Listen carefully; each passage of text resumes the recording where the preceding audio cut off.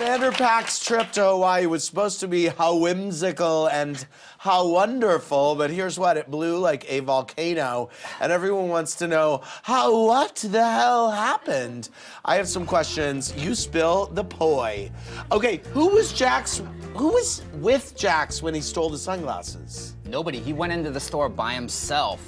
I guess He said he was drunk, but it seemed like it was during the day. He went on a booze out. cruise with Brittany, and then he left Brittany at the beach, went into the store, bought them, gave, went back to the beach, Not- gave no, them to Brittany. them. She was wearing them and had no idea, That they and then were he ended up getting arrested at Duke's. Yeah. Oh my god. He went on a booze cruise on his last day with Brittany. Yeah, we were we went to go look at Galapagos sharks and Yeah, we were in a shark Cliff cage. dive. And then, They went yeah, Wow. we heard about it afterwards. Oh my gosh. Are Max and Faith really hooking up? I don't, I don't know. I know they did. You know I they think I know they're not currently. right now. When his Yeah. teeth was were all fakakta? It was right before that happened. I happened. think it was Okay. before he okay. had that accident. What do you think would have happened if Kristen had been in Hawaii? I Oh, think man. we would have probably just gone and done our own thing. You do. Yeah.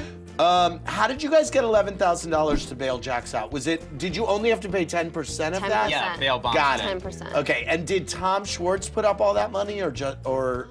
Remember? I'm not sure actually. Okay. I Sure, don't one of them- remember. Whoever had Okay. a credit card. Do you think Lala and James did have sex in Hawaii? No. No. Okay. Which guy looked at Lala and Faith's boobs the most? I actually missed it. I missed the whole the whole thing entirely. Did you mind? No. No. They were under the water and they were like 30 feet away. We from think it us. was a lot more. Uh, I think it was a lot worse having the guys in those banana hammocks. That was way more offensive to my eyes. Um, did anyone hook up with a local? no. no, not that Not know. unless. Is it a, is it a bad sign that Katie and Schwartz didn't have sex on a vacation partially celebrating their engagement? No. We made time, but Okay, thanks for playing. Hey YouTube, thanks for watching. And make sure you subscribe to our Watch What Happens Live Clubhouse channel right here. And to watch more videos, click here and here. See ya.